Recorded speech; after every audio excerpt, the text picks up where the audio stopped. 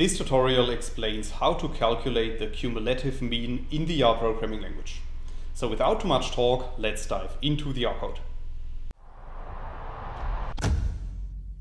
In this video I will show you several examples and all of these examples are based on the vector object that we can create with line 2 of the code.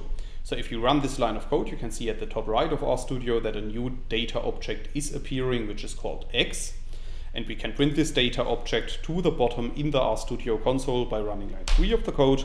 And after running this line of code, you can see at the bottom that our data object x contains six values ranging from 1 to 9.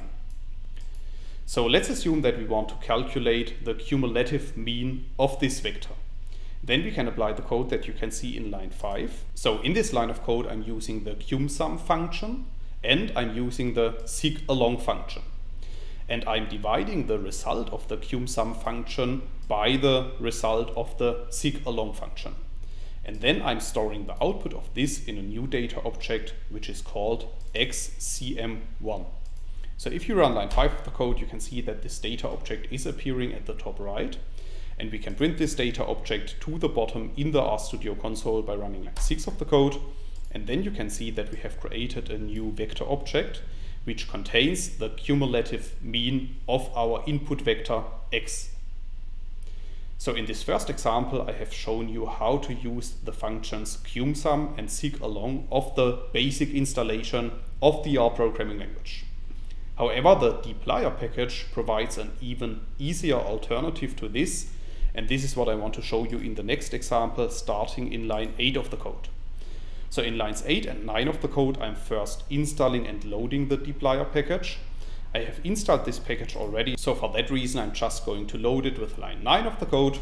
So after running this line of code, we are able to use the functions of the dplyr package. And one of these functions is the cum mean function, as you can see in line 11 of the code. And within the cummean function, we only need to specify the name of our input vector. So in this case, our input vector is called x. And then we can store the output of this function in a new data object, which we call xcm2. So if you run line 11 of the code, you can see at the top right that another data object is appearing, which is called xcm2 and we can print this data object to the bottom in the RStudio console by running line 12 of the code.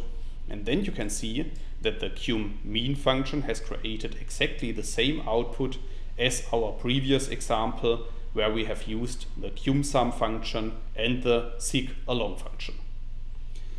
So in this second example, I have shown you an easier alternative to base R based on the dplyr package. And we can also use the cummean function to create a data set in which we are storing the output of the cummean function as a new column.